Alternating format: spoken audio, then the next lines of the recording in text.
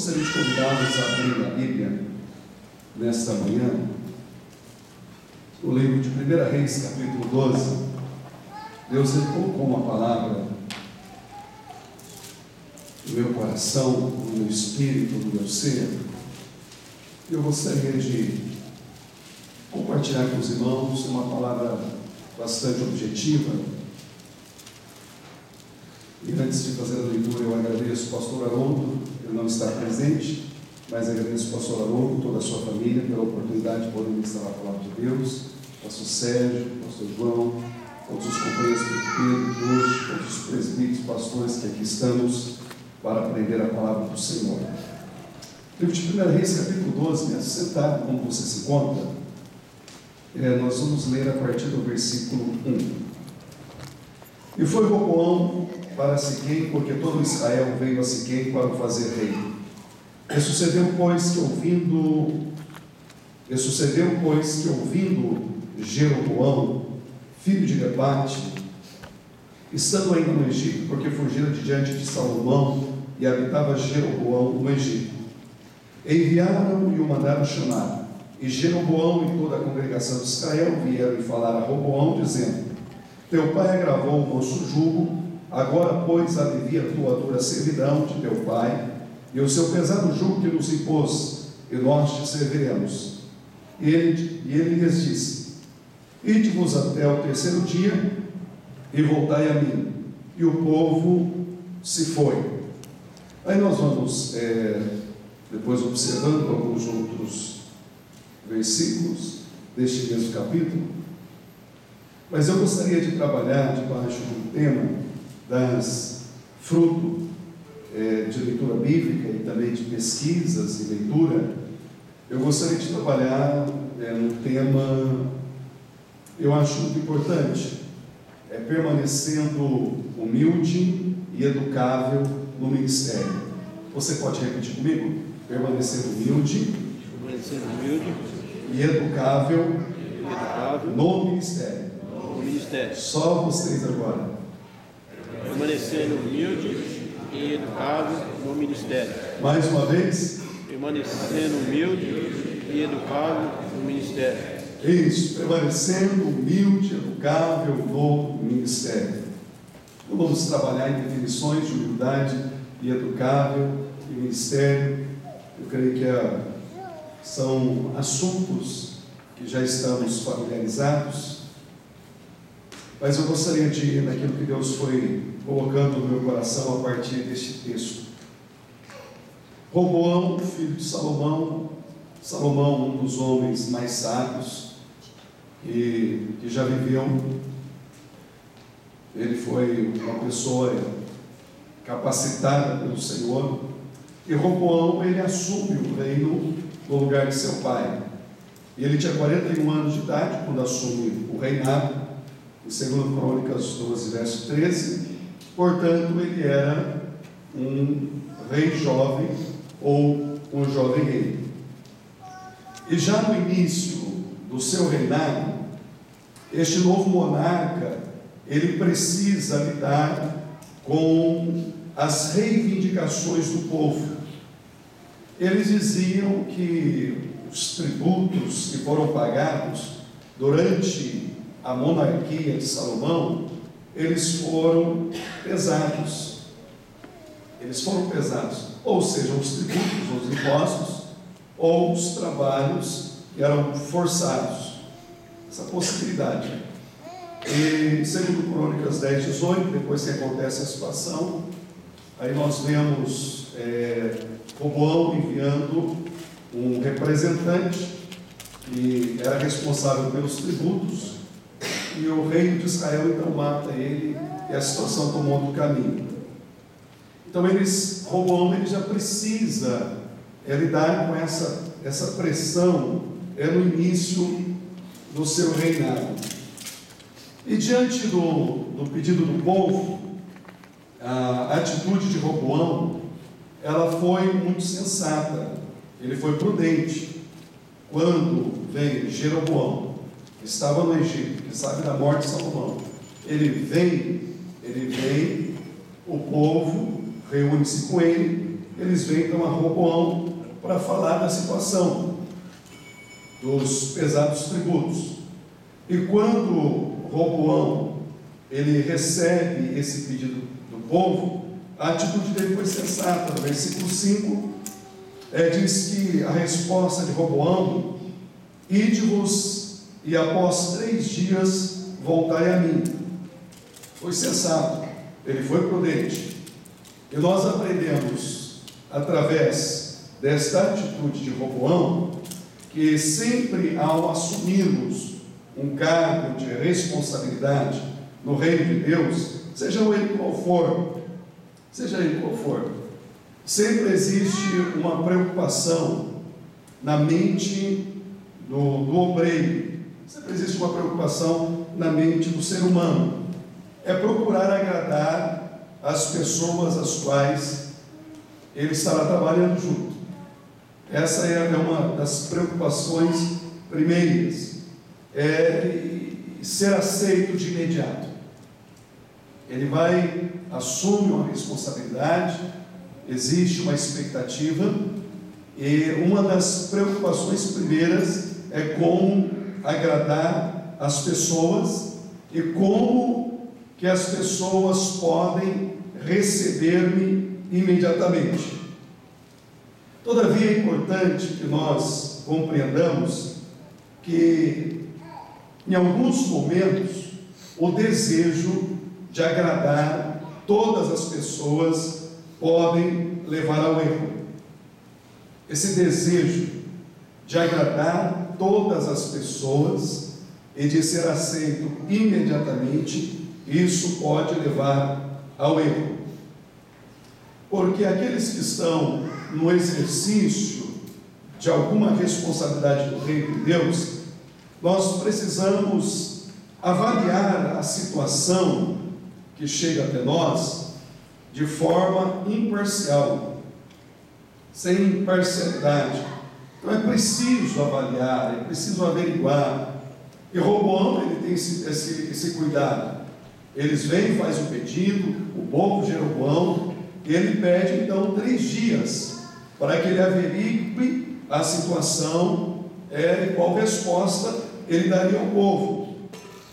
Roboão, ele pediu um tempo para pensar e para decidir a questão, porque os efeitos de uma decisão, elas precisam ser pensadas a curto, médio e longo prazo. Não é porque as pessoas já chegaram, interessante isso.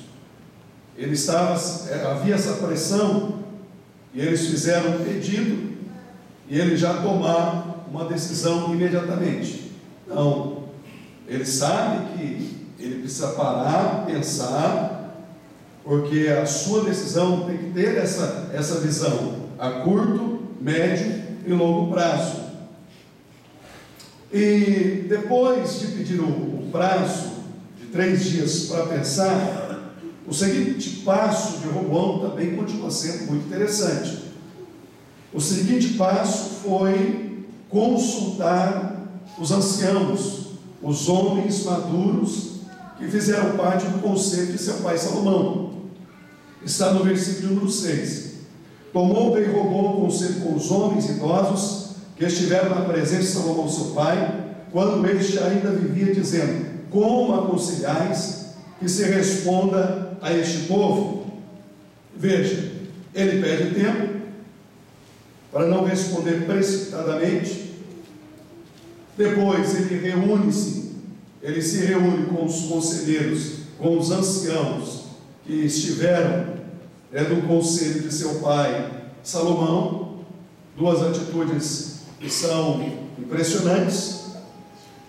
E o aprendizado que podemos extrair até o momento é que, sendo jovem, Roboão, ele tem ao seu lado líderes, que são homens idosos e experientes.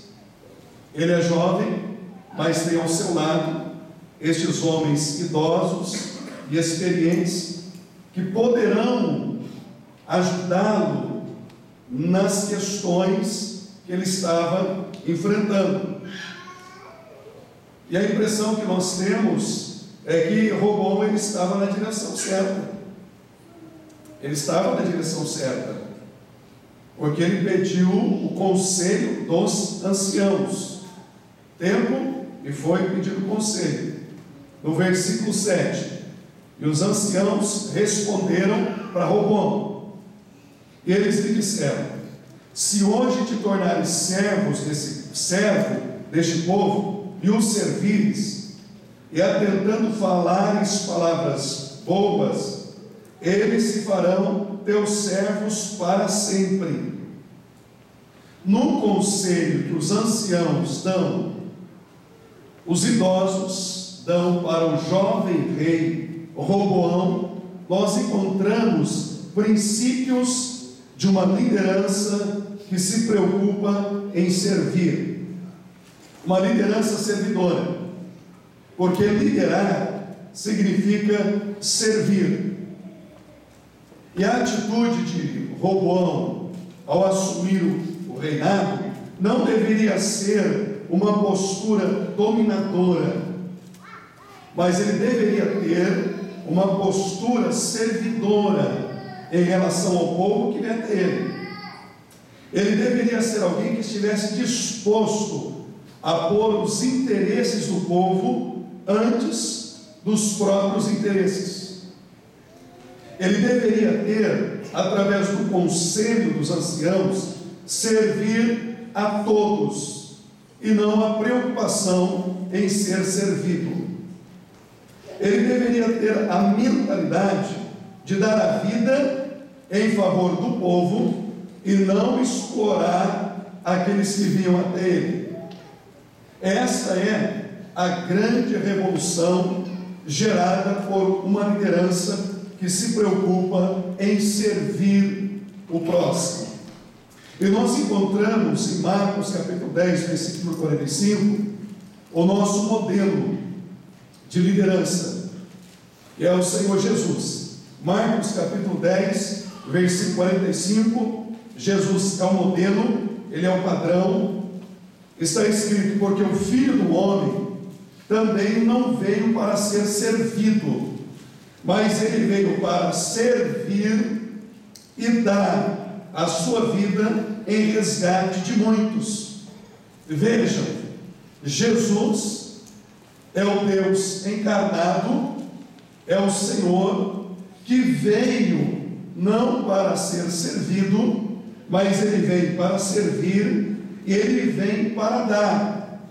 Este deve ser o modelo seguido por todos aqueles que estão exercendo qualquer tipo de liderança, servir e dar. Foi isso que Jesus ele realizou. E o conselho dos anciãos para Roboão era justamente isso. Se ele servisse o povo, porque o texto que nós fizemos a leitura, eles dizem que os tributos foram pesados. Mas mesmo os tributos sendo pesados, eles serviram a Salomão. E se Roboão ouvisse o que o povo estava dizendo, é claro que eles continuariam servindo também a Roboão. Mas ele não estava familiarizado com, com este assunto de ser um rei que serve ao povo. A ideia dele é que ele deveria ser servido e não servir. Mas o modelo para todos nós é Jesus. E Jesus, sendo Deus, ele vem para servir e dar a sua vida para nos resgatar. Um outro texto muito interessante, que se encontra em Lucas, eu vou citar a referência, já vou fazendo a leitura, Lucas capítulo 22, versículo 24 a 27. Eu vou fazendo a leitura.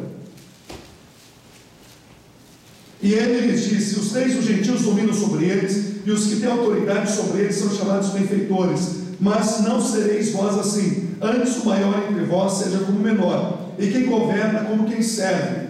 Pois qual é maior? Quem está à mesa ou quem serve?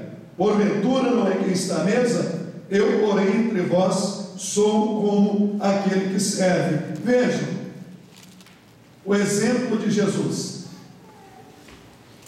No mundo, as pessoas procuram dominar sobre o outro, mas Jesus, ele está dizendo que entre os seus, ele é aquele que veio para servir. E essa deve ser exatamente a postura de todos nós, como obreiros da casa do Senhor. Uma preocupação de servir, de servir ao povo, porque Jesus é o nosso modelo, Jesus é o nosso padrão. Ok, irmãos? Tudo bem? Tudo da bênção até aqui? Maravilha, então vamos seguir adiante. Olha, o segundo, o segundo aspecto do conselho dos anciãos para Roboão é que ele falasse boas palavras para, para o povo. Diga para eles boas palavras. No versículo de número 7: Se lhe falares boas palavras, todos os dias eles serão teus servos. Essas boas palavras, elas não têm a ver com aquilo que o povo quer ouvir. Essas boas palavras, elas têm a ver com a questão da justiça. Porque quando se assume posições de responsabilidades maiores, eu vou repetir, uma das preocupações primeiras é ser aceito por todos, é que todos nos aceitem. Essa é uma preocupação primeira. E quando os anciãos dizem, fale boas palavras, não é que devia, ele deveria dizer o que o povo queria ouvir, mas ele deveria falar a palavra de justiça. Ele deveria agir com retidão e com equidade. Porque nem sempre aquilo que o povo ele quer, ou o que o povo pensa, nem sempre é o melhor na realidade. Aquele que está em posição de responsabilidade, ele tem uma visão mais ampla, ele tem uma visão que alcança um pouco mais, e essa visão que alcança um pouco mais, o dizer boas palavras, são palavras de justiça. Geralmente, talvez você já viveu isso, ou se não viveu, um dia talvez viverá. Geralmente, quando um grupo procura é, o seu coordenador para fazer uma solicitação, na maioria dos casos, o grupo visa apenas o melhor para o seu próprio grupo. Não é assim? Via de regra, é um departamento que procura a sua liderança, o seu coordenador, porque ele busca o melhor para o grupo, ele busca o melhor para o departamento. E antes desta liderança atender o pedido deste grupo, será necessário avaliar as consequências e as implicações para os demais grupos e para o trabalho como um todo. Eu vou usar aqui a, a um texto é, de 2 Coríntios, a, a, as ofertas das igrejas da Caia que enviou para as igrejas da Macedônia, porque a, a ideia que eles tinham é aonde havia poucos recursos, as igrejas que tinham mais, elas enviavam recurso financeiro e ajudavam aquelas que tinham menos recurso, porque tinha uma visão mais ampla. Então, antes de responder e beneficiar a determinado grupo, é preciso ter essa visão, se essa decisão que pretende se tomar, ela vai beneficiar os outros grupos e vai beneficiar o trabalho como um todo, e não só aquele grupo. Porque existem algumas outras necessidades, e talvez o grupo não tenha o conhecimento, mas aqueles que estão em liderança, eu acho que nós, tanto que estamos em liderança e nós que somos liderados, precisamos ter essa compreensão, porque existem outras necessidades que talvez nós não tenhamos o conhecimento. E por não termos o conhecimento, podemos fazer reivindicações e querer que o nosso pedido seja atendido no tempo hábil que nós apresentamos a solicitação. E se aquela solicitação ela não é atendida em tempo hábil, algumas pessoas se entristecem. Elas, elas se fecham, elas se angustiam. Você já passou por isso alguma vez? Quem já passou por isso? Quem não passou por isso? É, faz um pedido e o pedido não é atendido. Ah, o, coordenador do departamento ele se entristece e, e, se não tomar cuidado com essa tristeza, ela se torna uma raiz de amargura. Isso pode contaminar muitas pessoas. Mas aquele que está em, em posição de responsabilidade, ele tem uma visão não apenas do departamento, ele tem uma visão de todos os grupos, ele tem a visão como um todo. E na ânsia, na, no anelo de procurar agradar a grupos específicos, muitos líderes, eles comprometem a saúde espiritual, até mesmo do rebanho do Senhor. Ele compromete as questões administrativas, porque ele toma uma decisão para beneficiar apenas um departamento. Isso pode trazer um certo desconforto. E lendo a palavra de Deus e estudando, eu aprendo algumas lições que nós podemos ter ao longo da nossa caminhada, que nós podemos evitar alguns transtornos nessa carreira cristã.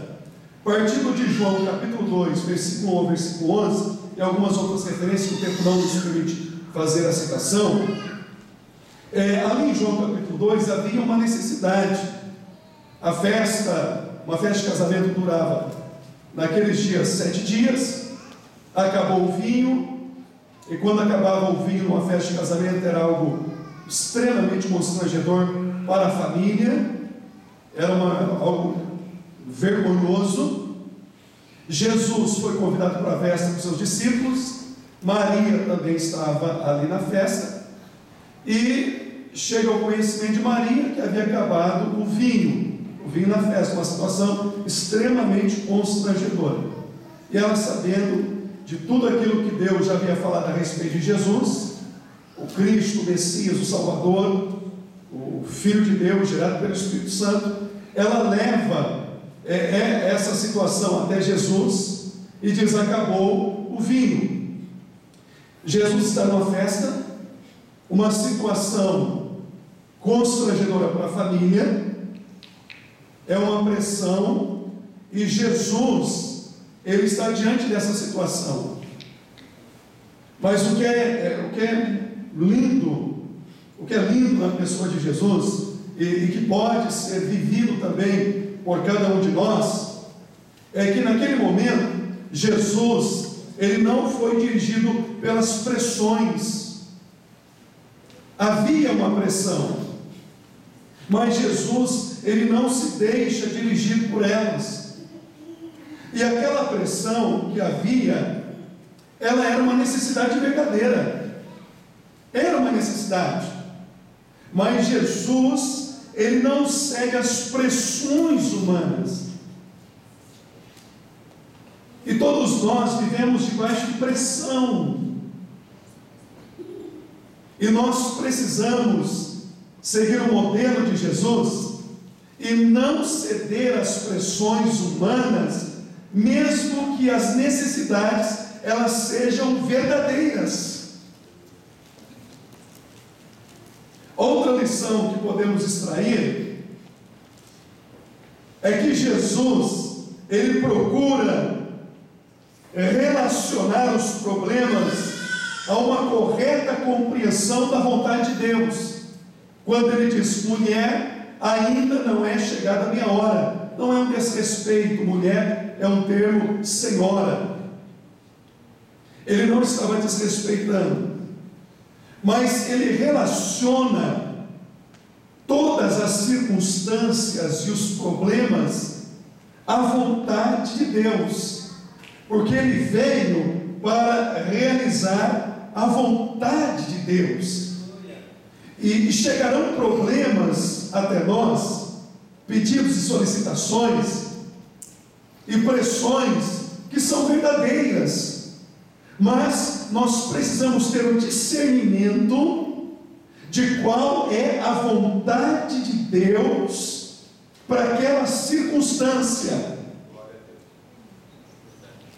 Porque a vontade de Deus ela é boa, ela é perfeita e ela é agradável. E a terceira lição que eu aprendo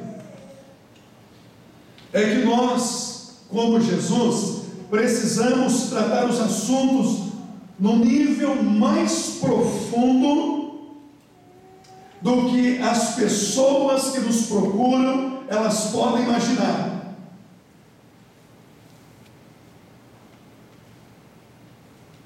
Eles trazem um problema,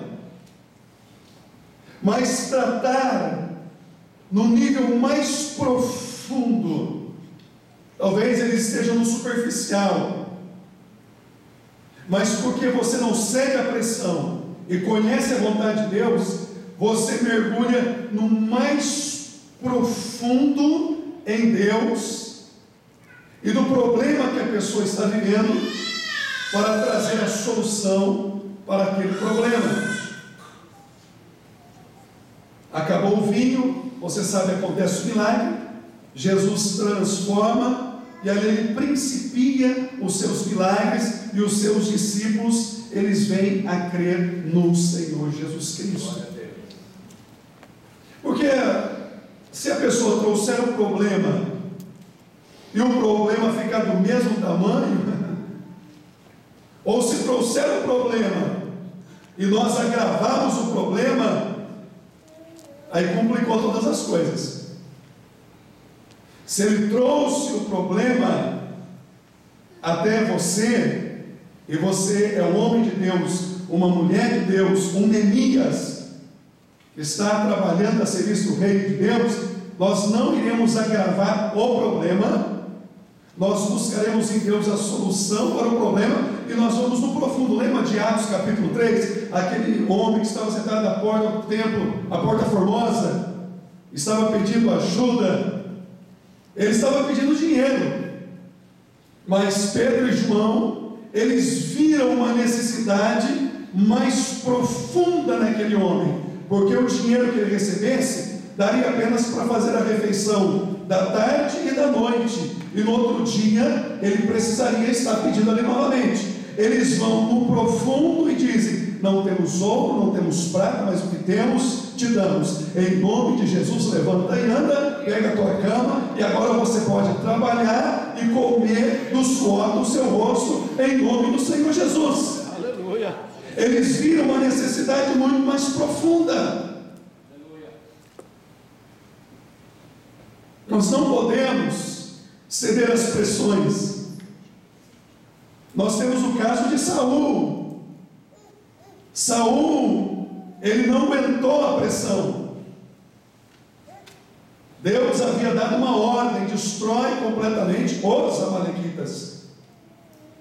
Mas ele poupa Agag e o melhor do rebanho. E aí depois Samuel fala aqui, você sabe o texto? Aí a resposta dele é porque eu temia o povo. Eu temia o povo. E naquele momento ele perde o seu reinado e Deus busca um outro melhor, que no caso foi Davi, um homem segundo o coração do Senhor. Porque ele não soube lidar com a pressão. Haverá pressão, irmão. Haverá pressão.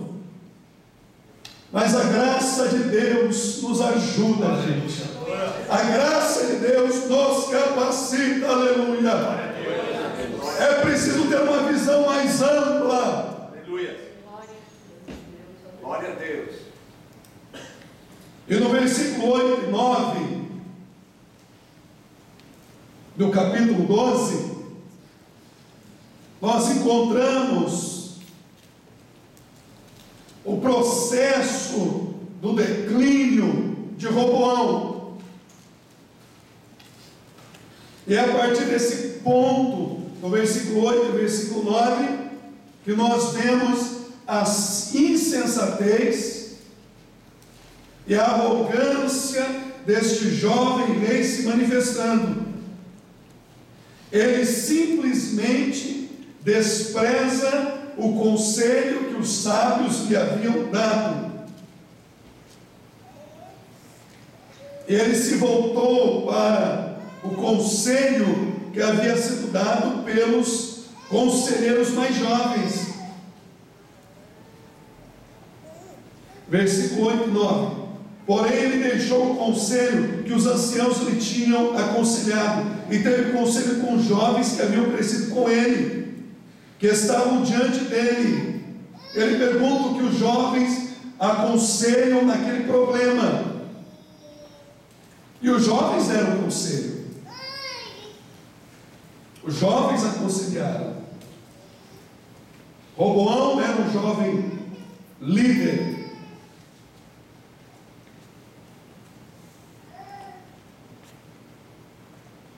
Os jovens o aconselham.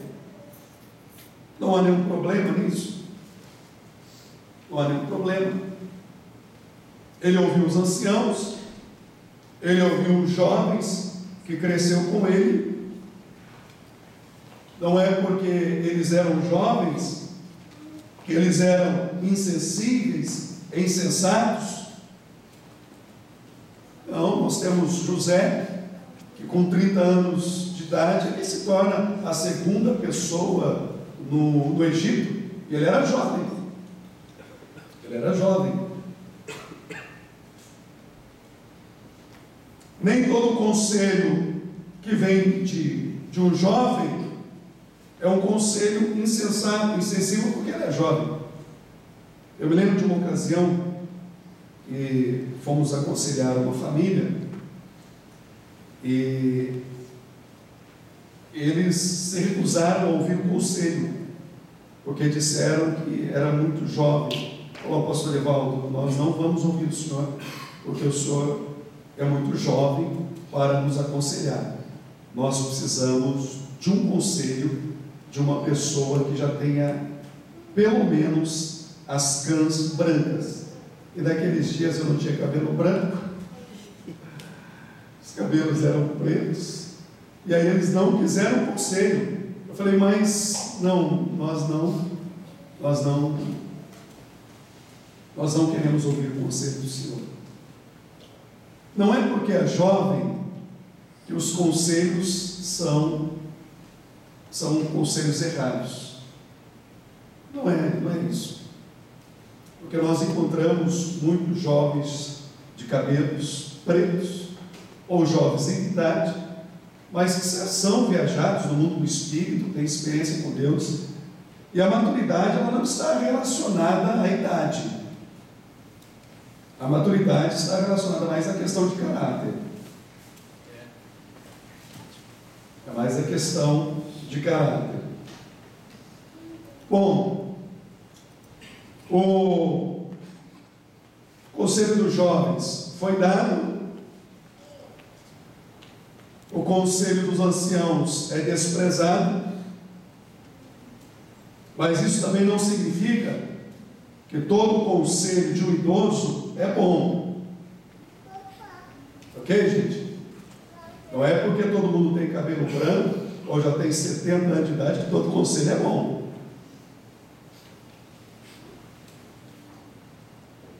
Não, porque ele é de idade. Ele é um idoso, ele é um ancião. Não.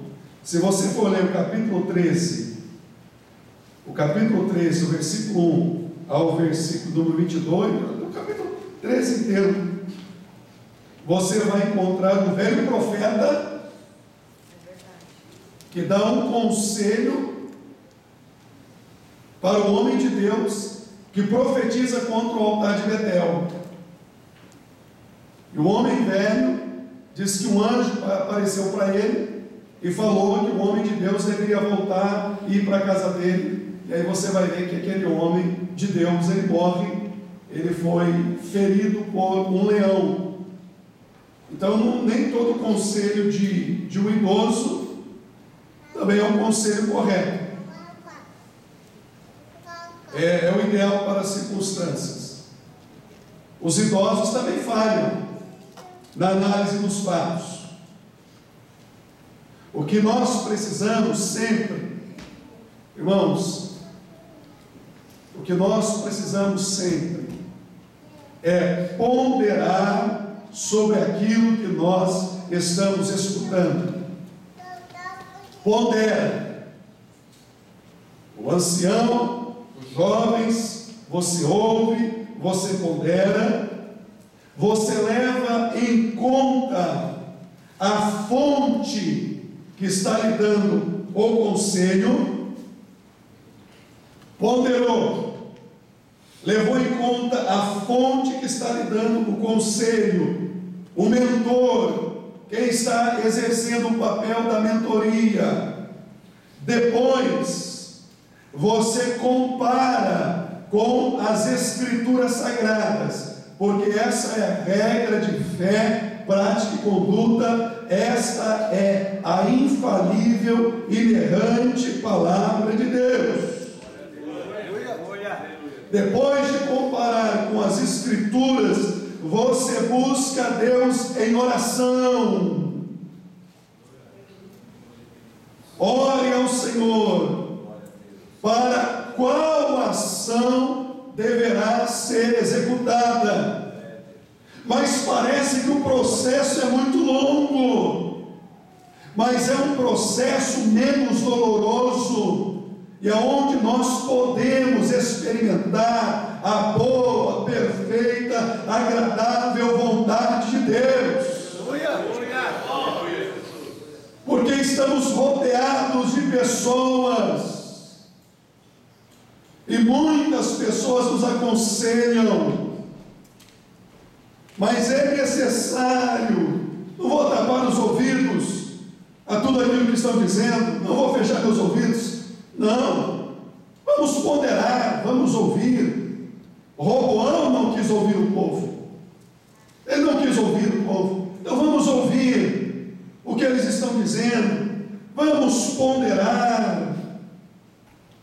Se você ler o capítulo 12, eu li, reli e não encontrei nenhum momento Roboão orando a Deus.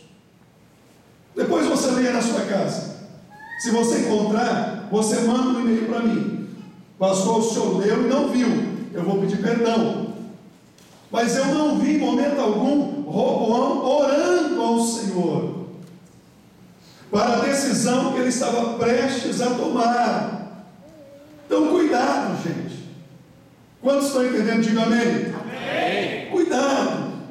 Vamos ponderar, vamos ouvir Vamos analisar a fonte que está nos dando conselhos. Hoje, quem está dando conselho a respeito de família são psicólogos e pedagogos, que são homens que estão com suas famílias destruídas, que são os grandes formadores de opiniões de massa, homens que não agregam nada à família, são quem estão aconselhando. Ele pode ser um profissional e se formou, estudou, mas o que ele menciona confronta com as Escrituras, os apóstolos disseram: mais importa obedecer a Deus que aos homens. Eu estava ouvindo esses dias uma professora da PUC, da, da, da PUC, uma grande faculdade do Brasil, ela falando de um novo modelo familiar. É o novo modelo familiar fica estarrecido. E esse novo modelo familiar é que os cônjuges presbiteranos, eles continuam casados, mas eles moram em casas diferentes. Eles continuam tendo suas vidas, vivem independente um do outro, e se reúnem quando sentem saudade um do outro. E a pergunta que a repórter fez: e os filhos? Como ficam os filhos? Porque a faculdade tem princípios cristãos. E os filhos, como que fica? essa professora disse: quando chegar o divórcio, é menos traumático, porque eles já se acostumaram a ficar na casa do pai e a ficar na casa da mãe. Quando chega o divórcio, os filhos não sofrem. São os formadores de opinião de massa, os conselhos que são dados para a sociedade. E nós precisamos ouvir, analisar a fonte, quem está dando conselho. Quem está dando conselho, não é porque é jovem, não é porque é novo, mas a fonte. Bom, tem gente que vai pedir conselho para uma pessoa que está pior do que ele, irmão. Ele vai pedir conselho para um igual num sentido que aquela pessoa, ele vai pedir um conselho, ó, o que você acha do dadismo? E aí o outro não é dizimista. o que você acha do dadismo? Não dá dízimo. Ele vai pedir conselho para o igual, para o par. Pedir conselho para alguém que está com problema no casamento, alguém que está pensando em divórcio, separação. Ele vai, o que você acha da minha relação? porque essa pessoa ela já está com problema no casamento, ela está decepcionada com a relação que ela viva, ela vai dar o que ela tem, o que ela tem, amargura, ressentimento, rancor. Ela não vai dar a cristalina palavra de Deus, porque ela não consegue separar sentimentos pessoais da fé que ela vive. E ela vai liberar sentimentos misturados com palavra e vai gerar morte porque tudo que vem de sentimentos da carne, ele gera morte.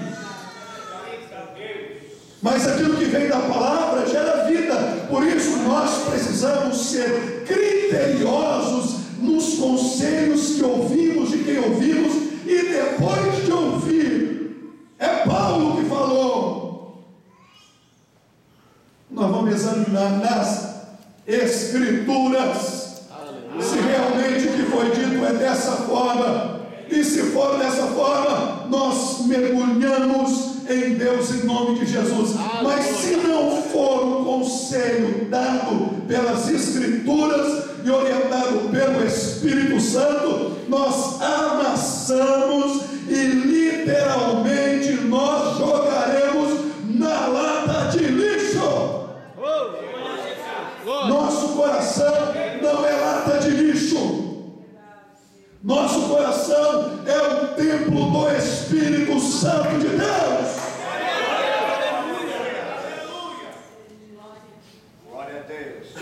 Ser criteriosos. Temos que tomar muito conselho. Eu já encerro. É muito bom, irmãos. Nós temos do nosso lado, é muito bom nós termos do nosso lado esse equilíbrio. Os idosos e os jovens. Os idosos e os jovens. Todos nós precisamos ter ao nosso lado essa equipe com formação e características as mais diversas. Dessa forma, poderá ter opinião, opiniões que contemplam o mesmo problema e alternativa de soluções por vários anos distintos. Isso é vantajoso.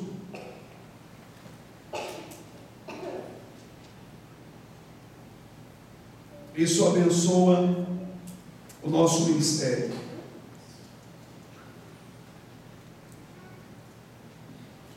O, o pedido do povo, que chegou até Roboão, ele não foi atendido. Ele não atende o pedido do povo. Ele se recusa a ouvir o povo. Ele fechou os seus ouvidos. E diante desta recusa de ouvir o povo e seguir o conselho dos anciãos, que era um bom conselho, você sabe o que acontece. O reino, ele é dividido. Duas ideias, você sabe a história. Um fato trágico da história do povo de Deus. Porque Roboão, ele tinha um conceito distorcido de liderança. Para ele liderar é exercer opressão, é explorar os dominados. Esse era o conceito que ele tinha. Mas irmãos, o conceito bíblico de Gênesis ao Apocalipse de exercer responsabilidades e liderança é servir o outro em amor, é abençoar a vida da outra pessoa. E você vai ver aqui no mesmo capítulo a história de Jeroboão, que é o servo que fica com as outras dez tribos. Também é interessante que Jeroboão ele ouve a profecia daquilo que Deus tinha para a sua própria vida, tinha para a vida dele. Deus fala com eles através de Semaías, fala com ele o que Deus pretende deste homem. Ele sabia qual era o plano de Deus para a sua vida, e mesmo sabendo qual era o propósito de Deus, ele desobedece ao Senhor. Mesmo com muita clareza o que Deus esperava dele, ele faz a sua própria escolha e ele segue o seu próprio caminho. Se ele honrasse a Deus como Davi, ele era servo. Deus abençoaria as dez tribos. Mas depois que ele assume as dez tribos, ele se torna o monarca ali da tribo do norte, então ele se revela quem ele é. Ele revela de fato quem ele é. Ele começa então a fazer coisa abominável em Israel. Você conhece a história? Ele coloca dois bezerros, um Dan e outro em Betel, tudo para impedir que o povo fosse até Judá, e o coração do povo indo para Jerusalém, voltaria para, Roboão. Então ele começa a, a manipular o povo, a levantar altares e dizer que aqueles eram os deuses, o Deus que deveria ser adorado. Eu vou aqui, quero finalizar para nós orarmos, pastor Sérgio nos dar aviso. Tanto Roboão como Jeroboão fizeram o que era bom para si mesmo e não o que era útil para o povo. Roboão, ele foi severo e não ouviu o que o povo dizia. Jeroboão estabeleceu lugares novos de adoração para evitar que o povo viajasse para Jerusalém. Ambos sofreram prejuízos provocados pelas suas próprias ações. Do que se queixa o homem? Seus próprios pecados, diz o profeta. Eles sofrem prejuízos daquilo que eles mesmos provocaram. Roboão, com toda a sua postura insensível e arrogante, ele produz a divisão do reino. Jeroboão, ele afasta o povo de Deus através da idolatria e de sacerdotes que ele vai levantando a seu bel prazer. Os que tomam decisões somente pensando no seu próprio benefício trazem prejuízos para si. Eu vou repetir, irmãos. Os que tomam decisões somente pensando em seu próprio benefício trazem prejuízos para si mesmo. Eles perdem mais do que se tivessem mantido os outros adiante das suas próprias necessidades. E o conselho de Deus esta manhã, na véspera da nossa escola bíblica, mantenha-se humilde e educável no ministério. Permaneça humilde. permaneça educável, permaneça aprendendo do Senhor, permaneça nos pés de Jesus Cristo de Nazaré, servindo a Deus com fidelidade e com integridade, que possamos, debaixo da graça, do sangue e no poder da ressurreição de Jesus, fazermos a diferença nesta geração que necessita de homens de Deus, de mulheres de Deus, que sejam um referencial para uma outra geração que está se levantando, que precisam olhar para alguém, precisam de um referencial de homens de Deus, um referencial de mulheres de Deus, que os nossos filhos, que os nossos jovens, que os nossos adolescentes, que os nossos juniores, eles possam olhar para nós e seguir os nossos caminhos e dizerem: os nossos pastores, a nossa liderança, eles são homens de Deus. As irmãs do círculo de oração, os nossos coordenadores, eles são homens íntegros, eles são homens de Deus, eles exalam Deus, eles exalam a doutrina de Jesus Cristo de Nazaré. O conselho deles é saudável, o conselho deles está impregnado na palavra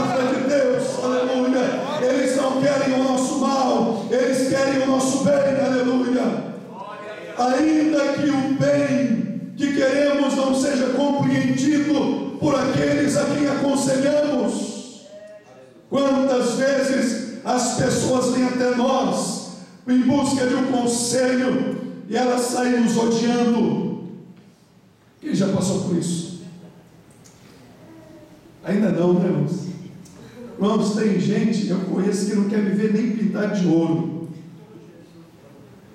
Tem gente que não quer me ver nem pintado de ouro, porque veio pedir um conselho e você não pode dizer outra coisa a não ser o que está na palavra. Quem tem a palavra, fale a palavra. E quem tem sonhos e palha, fala sonhos e palha. E você diz: você precisa mudar de vida, porque Deus não abençoará sua vida, Ele te ama, mas não ama a sua prática, e a pessoa se levanta, e a pessoa te afronta, a pessoa te desafia, a pessoa levanta o dedo para você e diz uma série de coisas, e a pessoa te evita. Nós não podemos dizer aquilo que as pessoas querem ouvir. Nós precisamos dizer aquilo que Deus Oh, quer. glória a Deus, aleluia. Aleluia. os nossos filhos possam ver em nós, a nossa juventude possa ver em nós, homens de Deus, Glória a mulheres de Deus. Aleluia. Paulo diz que as mulheres mais velhas ensinem as mais novas a amarem os seus maridos e serem boas donas de casa. As mulheres mais velhas, não só de idade, porque tem mulher de cabeça branca, tem homem de cabeça branca, que meus irmãos, quando abrem a boca para falar, falam, pelo amor de Deus, só envelheceu o físico. Se eu estou falando alguma, alguma coisa infundada, você pode me corrigir. Porque você conversa com pessoas idosas e a pessoa só dá a boca para falar o que não convém. Mas que as nossas irmãs, como diz Paulo para Timóteo, para uma das pastorais, as mulheres mais velhas aconselhem as mais novas a amarem os seus maridos, aleluia. Uma irmã vem pedir conselho para outra irmã com problema no casamento, e a irmã mais velha de casa, de igreja, falou: larga desse homem, porque o homem é tudo igual. Eu coloquei a mão na cabeça igual a Manuel e falei: Deus de Israel, meu Deus, tem misericórdia. Não, não é possível. A Bíblia diz às mulheres mais novas: ame o teu marido. Eu não gosto de cuidar da casa, mas as mulheres mais velhas devem ensinar as mais novas: seja boa dona de casa, em nome do Senhor Jesus Cristo de Nazaré. Quando teu marido chegar, a casa está limpa, a comida está preparada. Oh, aleluia, bendito seja o nome de Jesus de Nazaré. Ele pode ajudar a limpar a casa e tem o dever de ajudar mas a mulher tem que ser uma boa dona de casa, ela trabalha fora, mas ajuda em casa, e quando os filhos olham para a mãe, diz, oh, aleluia, as meninas dirão, eu quero ser como a mamãe, eu quero ser como a mamãe, aleluia. E os meninos dirão, eu quero ser como o papai, aleluia. Eles dirão, nossos filhos. Aleluia. Nossos filhos dirão, o nosso exemplo está influenciando os meus filhos, o teu exemplo. Aleluia. Cada um prestará conta diante de Deus, cada um. Eu não posso justificar as minhas escolhas e o meu fracasso em nome da vida que você vive. Mas a maneira que nós vivemos influencia os nossos filhos. E você está influenciando os meus filhos. Se te mostrares fraco no dia da angústia, a tua força será pequena. Levanta-se, reanime-se